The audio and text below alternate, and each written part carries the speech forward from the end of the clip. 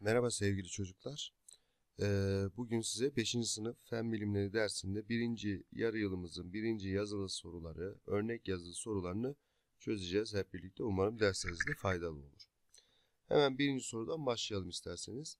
Aşağıda verilen şekildeki şekilden yararlanarak Güneş, Dünya ve Ay'ın hareketleriyle ilgili olarak aşağıda verilen bilgilerden doğru olanlara D, yanlış olanlara da Y yazınız diyor. Bakıyoruz şeklimiz dünyanın e, kendi etrafında dönmesi ve güneşin etrafında dönmesi hareketi ve ayın hem kendi hem de dünya üzerinde, dünya e, çevresinde dönmesi hareketi. Resimden bunu anlıyoruz. Şimdi bakalım isterseniz. Evet, dünya kendi ekseni etrafında dönme hareketi yapar. Bakıyoruz şekle, kendi ekseni etrafında dönme hareketi yapıyor. O zaman biz buna D koyuyoruz. Doğru. Ayın kendi ekseni etrafında dönüşü sonucu ayın evreleri oluşur. Ayın kendi ekseni etrafında dönüşü sonucu diyor. Ee, ayın kendi ekseni etrafında dönmesi e, şimdi şöyle düşüneceğiz. Ee, ayın e, evreleri nasıl oluşur? Güneşten aldığı ışınları yansıtmasıyla yani e, dünya ile güneşin e, arasına girmesi hareketiyle oluşur. Yani şu hareket, gördüğümüz şu hareket oluşur. Bunu bir resimle de açıklayalım. Gördüğünüz gibi ortada dünya var. Güneş bu tarafta. Ee, ay, bakın dikkat edin. Güneşten aldığı ışınları nasıl yansıttığına göre çeşitli şekillerde görünüyor dünyada. Dünya üzerinden. İşte bu bunun e, sebebi de şudur. Ayın dünyanın etrafında dönmesidir gençler. Evet yani ay kendi ekseni etrafında dönmesi bunun sebebi değildir. Yani yanlış. Güneş kendi ekseni etrafında saat yönünün tersine döner diyor. Evet bakıyoruz. Güneş ee, saat yönünün neresinde dönüyor? Tersinde dönen bir hareket. Saat yönü bu taraf olacağı için ters yönü yani batıdan doğuya doğru dönüyor ki aynı hareketi dünyada yapıyor. O zaman biz buna ne diyoruz? Doğru diyoruz. Geldik diğer maddeye. Dünyanın güneş etrafında dolanma hareketi sonucu gece ve gündüz oluşur diyor. Ee, dünyanın güneşin etrafında dolanması sonucu gece ve gündüz değil bir yıl geçiyor. Gece ve gündüz dünyanın kendi etrafında bir tur atmasıyla oluşuyor. Yani yanlış diyoruz. Ayın kendi ekseni etrafında dönüş süresi ile dünya etrafında dolanma süresi aynıdır diyor. E, ayın bir daha okuyorum. Ayın kendi ekseni etrafında dönüş süresi ile dünya etrafında dolanma süresi aynıdır. Evet. Ayın kendi ekseni etrafında dönerken aynı zamanda dünya üzerinde yani dünyanın çevresinde dönmesi e, ortalama 29 gün sürüyor. Yani buna da bir ay diyoruz. Bu da doğru olacaktır ve de diyoruz buna da. Güneş dünya etrafında dolanma hareketi yapar. Evet bakıyoruz güneş dünyanın etrafında dolanmıyor. Dünya ve ay güneşin etrafında dolanıyor. Hatta Güneş sistemindeki gezegenler de Güneş'in etrafında dolanıyorlar. O yüzden de bu yanlış olacaktır.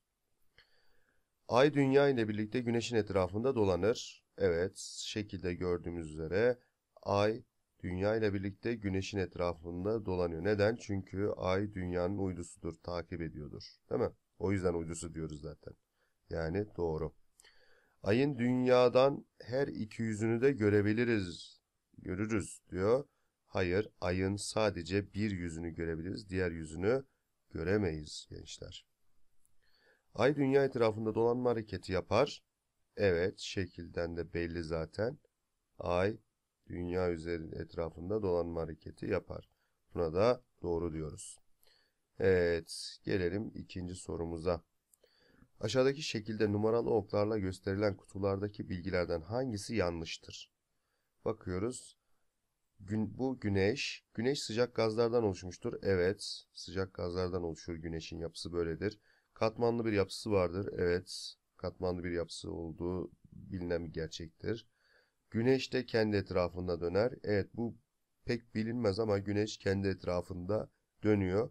75 milyon yılda bir de aşağı yukarı hareket yapabiliyor. Dünyanın uydusudur diyor. Hayır, Güneş dünyanın uydusu değildir. Dünyanın uydusu Ay'dır gençler. O yüzden de yanlış olan cevabımız 2 olacaktır. Evet.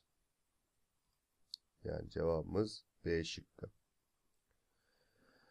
Geldik üçüncü soruya. Futbol topu, mercimek ve nohut taneciklerinin büyüklükleri dünya, güneş ve ayın büyüklükleriyle ilişkilendirilecektir. Buna göre aşağıdaki verilenlerden hangisi doğrudur?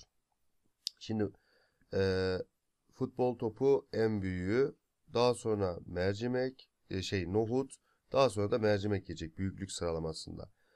Biz bakıyoruz dünya, güneş ve ay en büyük hangisidir? Tabii ki güneştir. O zaman futbol topu bizim güneşimiz olacaktır. Yani A'da ve D'de var bu. Nohut olan da dünya olacaktır. İkinci büyük olan dünyadır. Ve mercimek olan daha küçük olan da aydır. Yani cevabımız ne olacaktır? A şıkkı olacaktır. Yukarıdaki ifadelerden hangileri doğrudur?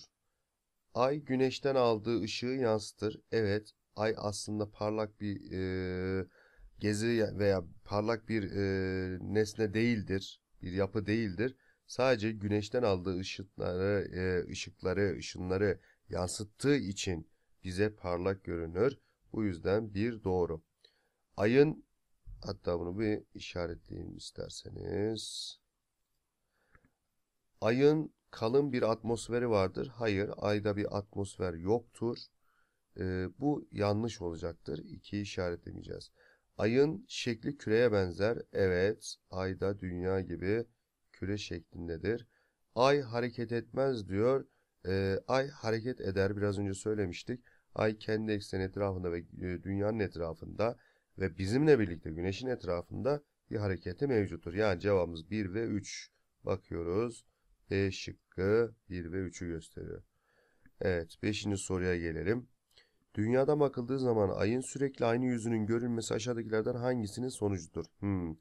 Bakıyoruz şu şeklimize yine bir bakalım.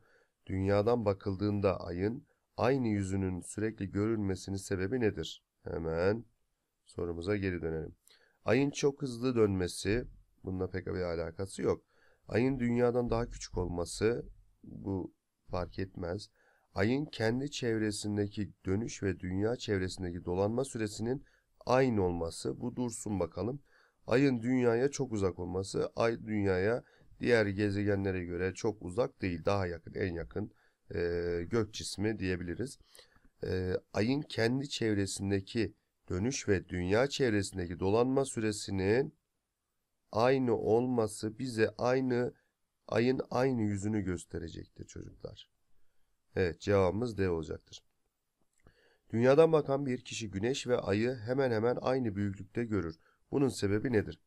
Ayın şeklinin küre olması yani küre olması çok da önemli değil.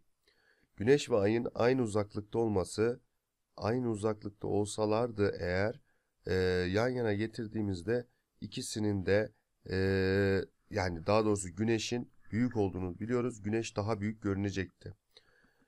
O yüzden bu değil. Güneşin dünyaya uzak, ayın yakın olması. Evet, güneşin dünyaya uzak, ayın yakın olması doğru cevabımız olacak. Dünyanın kendi etrafında dönmesi ne de pek alakalı değil sonuçta. Güneşin dünyaya uzak, ayın yakın olması bize ayla güneşin aynı e, boyutlarda olduğunu zannettiriyor. Halbuki değil.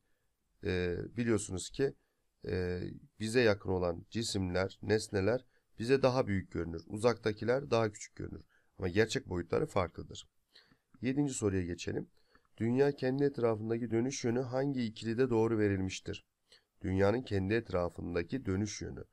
Dünya biliyorsunuz ki batıdan doğuya doğru döner. Batıdan doğuya ya da burası. Ve saat yönünün tersine döner. Saat yönü böyleyken dünya bu şekilde dönüyor. Bilmiyorum görebiliyor musunuz? O yüzden de cevabımız D şıkkı olacaktır. 8. soruya geldik. Aşağıdakilerden hangisi ayın hareketlerinden biri değildir? Kendi etrafında döner. Evet, dönebilir. Dünya etrafında dolanır, dolanıyor. Dünya ile birlikte güneşin etrafında dolanıyor. Evet, bizimle birlikte dolanıyor çünkü bizim uydumuz. Mars gezegeninin etrafında dolanır diyor. Mars gezegeninin etrafında maalesef dolanmaz. Çünkü bizim uydumuz zaten. Evet, bayr, e, bayrağımızdaki hilal hangi evreler arasında oluşur diyor. Bayrağımızdaki hilal. Bakalım. Yine size şekli göstereceğim. Bakın güneşten aldığı ışınları yansıtıyor. Diyelim ki bura dünya, güneş. Ee, burada hilal nerede oluşuyor? Bir burada oluşuyor, bir de burada oluşuyor değil mi? Evet. Ya burada oluşuyor ya da burada oluşuyor. Yani bu iki arada bakalım sorumuza. Evet. Hilal tam da 1 ve 4 arasında oluşuyor. Ee, 1 ve 2 arasında da bir hilal oluşuyor ama buradan ters bir hilal görüyoruz. Ama e, yani bayrağımızın şekli gibi düzgün bir hilal e, şekli görmemiz 1 ve 4 arasında oluşuyor. Cevabımız D şıkkı olacaktır. 10. soruya geçelim. Ayın yüzeyi bakın burada bir resim var ve aya ilk ayak basan insanlardan biri herhalde.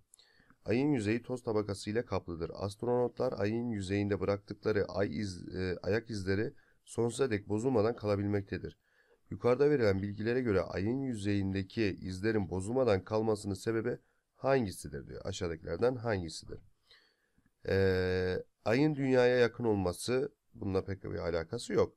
Ayda hava olaylarının görülmemesi. Bu bir dursun. İşaretleyelim. Ay yüzeyinde derin çukurların bulunması, çukurla ayak izinin pek bir yine ara alakası olmayacaktır.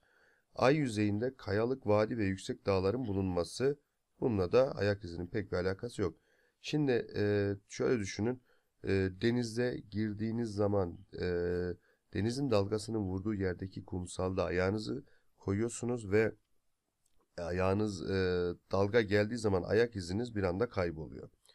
Veya işte bir çölde veya bir e, toprak bir alanda ayağınızı basıyorsunuz ve bu ayak izi dünyada kaybolur. Neden? E, rüzgar, sel, yağmur gibi yani bir sürü doğa olayı nedeniyle o ayak izleri e, yok oluyor. Ama aydaki yok olmuyor. Bunun sebebi de ayda hava olaylarının görülmemesi. Yani ayda bir atmosferin, atmosferik olayların görülmemesidir. Yani B şıkkı olacaktır. Evet. Gün, ay, yıl ile ilgili yukarıdaki tanımlamalarla aşağıdaki eşleştirmelerden hangileri doğrudur diyor. Şimdi bakıyoruz. Dünyanın güneş etrafında bir tam dolanımı için dolanımı için geçen süre nedir çocuklar? Dünyanın güneş etrafında bir tam dolanımı için geçen süre. Bu bir yıldır arkadaşlar. Uzun bir süre. En uzunu budur. Yıldır. Yani bir yıl olacaktır. İkiye bakıyoruz. Ayın dünya etrafındaki bir tam dolanımın için geçen süre adı üstünde aydır. Yani bir ay sürecektir.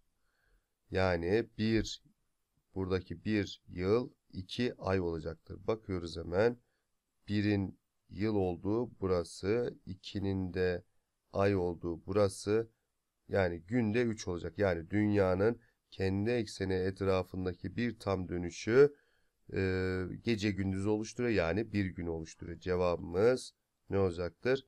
C şıkkı olacaktır. 12. soruya geçiyoruz. Şöyle yapalım. Ayın evrelerinin oluşmasında aşağıdakilerden hangisi etkilidir? Ayın evrelerinin oluşmasında ayın kendi çevresine dönmesi, ayın evrelerinin oluşmasının sebebi güneş ile dünyanın arasındaki pozisyonundan dolayıdır. Yani ayın güneş çevresinde dolanması mı, ayın dünya çevresinde dolanması mı, Mars'ın güneş çevresinde dönmesi mi? Mars'la bir, bir kere alakası yok.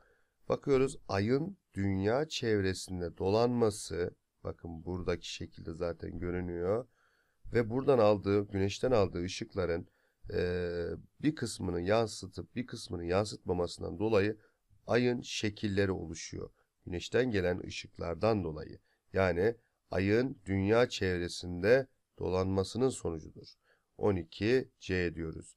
Evet, bu birinci yazılı testimiz bitti. Ee, ikincide görüşmek üzere. Yorumlarınızı yapmayı unutmayın. Bu videoların gelmesini istiyorsanız diğer derslerden de beğeni yapıp abone yapıp e, olmayı da unutmayın. Teşekkür ederim gençler.